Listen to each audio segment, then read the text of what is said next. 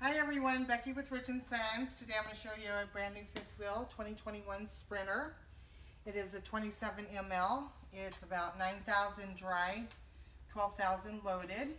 Um, it has a wonderful outdoor kitchen. It doesn't have the grill, but you've got places to store all your picnic goodies, all those kinds of things. Um, it also comes with a little remote here for your awning. If you're sitting outside, the wind comes up, you can just close them up. Um, that's kind of nice and handy. Got your everything right here. Let me get that in there.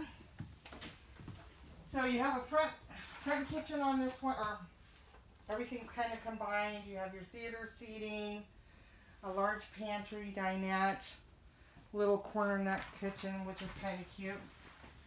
But a very large pantry for your storage, nice and deep. Nice place to put a trash can. You have your light gray interior, um, microwave, little cubby up here, which goes way back, so you can put a lot of stuff in there. Nice size oven. Bake some biscuits in the morning. Got your panel below. Nice fireplace. Take the chill off in the morning. Your TV, storage above that. Then you have a nice little bench there. You put your shoes underneath it. And then the cushion lifts up. So if you need to store some other things, you have another little hiding place there. More cabinets here. They're nice and deep. This uh, theater seating also has massage and heat. So after a long hard day, you can get a massage. You have a nice king size bed. That's kind of nice. You have storage underneath your bed. You have two air conditioners. You also have a washer dryer prep in here. So if you do want to install one, you can do that. Your built-in dresser, cabinets above.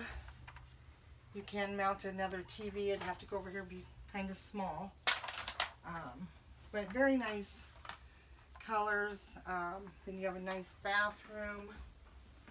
Let me get to that here. So you have your nice linen cabinet, your glass door, medicine cabinet. So very, very nice couples unit. Um, I love this. I love the, the gray floors. And you don't have your carpet on there as well. So all in all, love this 27 ml. And the price was $37,999.